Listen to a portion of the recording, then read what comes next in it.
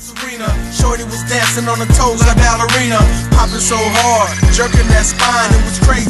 She had that 50 song on my mind, like.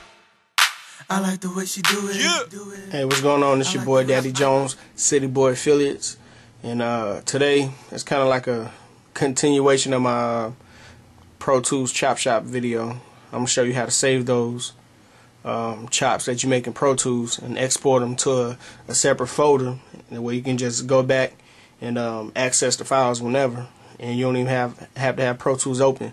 So you can take those files and um, do whatever you want with them. So uh, that's what I'm gonna go ahead and do now. Show you this video real quick. It's gonna be short and sweet, and here it goes. All right, so here we go. Here's the drum loop. I'll play it for you real quick.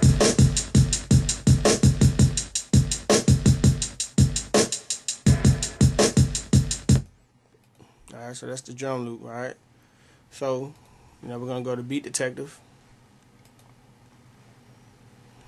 Go to region region separation.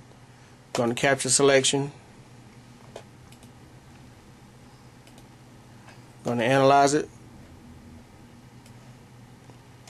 And we're going to pull up our, um, our marks. Alright. So we're going to separate them.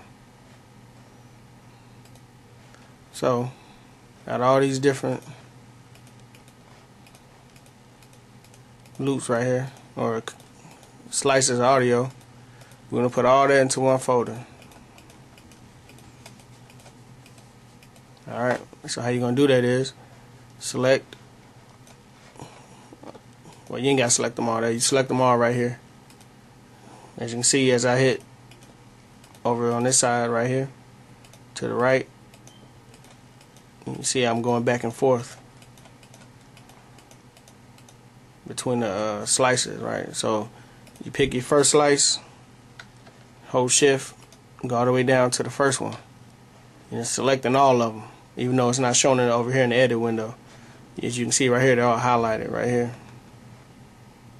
You can see what's not highlighted, which is the original loop. Alright, so with these, all these slices, what you want to do, you want to right click, you want to tell Pro Tools, let me zoom in for you. Alright, now you pull up your, your menu after you right click on it and you see export regions as files. So you want to click that. Alright, so now this window comes up says export selected. Alright, so you got you want it as waves, you want them to be mono, 16 bit, 44.1 kilohertz. You want the conversion quality to be the slowest because it's the best. And you choose your destination directory right here. So this is going to send all the files to a specific folder. So go ahead and find that folder. I'm gonna go ahead and put it on. Uh, I'm gonna put it on my desktop. All right, you're gonna name that folder, whatever you want to name it. I'm gonna name it Chops. All right, and then you go, go ahead and open that folder up, and as you can see right here. Tell Pro Tools go ahead and use that folder right there. And you move up right here, you see that's where the destination is. And now it's going to auto name all of them. If you have this selected, just go ahead and keep that selected. And you go ahead and go to export.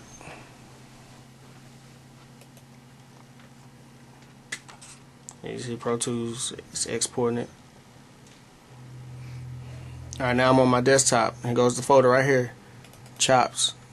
All those audio loops that I cut up right here. Right here in this folder. So look like it's about about 20 of them but you can do what you will with these. Like uh I'm gonna go ahead and just play this one. Of course you gotta play it in Windows Media Player so I'm gonna go ahead and play it. It should be just a kick alright so just a kick and so you can do whatever you want with these files now. You know, uh, keep them, throw them in your sampler or something like that. If you got Reason, you know, pull them up in Reason with the redrum, or you can uh, go ahead and throw them in the MPC or whatever. So that's how you do it. Uh, when you chop up a beat in Pro Tools with the Beat Detective, save it to a new folder, export regions as files, and uh, you'll be good to go. Thanks for watching this tutorial from Daddy Jones, City Boy Affiliates. We got more coming, so stay posted.